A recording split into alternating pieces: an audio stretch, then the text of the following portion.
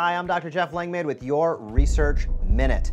Does tech neck or forward head posture affect your ability to breathe? That is exactly what this research study looked at, and it is titled The Effect of Forward Head Posture on Thoracic Shape and Respiratory Function. So we know with the advent of tablets, smartphones, computers in our modern life, we spend a lot of time in cervical or neck hyperextension with that forward translation how does that ultimately affect how we breathe? The researchers here found that it does affect our ability to breathe. As a matter of fact, they found if the forward head posture causes expansion of the upper thorax and contraction of the lower thorax, and these changes cause decreased respiratory function. So if you are somebody that is either looking to get well, stay well, or engage in an exercise routine of any kind, which all of us should be, you're gonna wanna keep an eye on how you have your posture throughout the day. It can have a huge impact on your ability to breathe in deeply and get maximum respiratory function.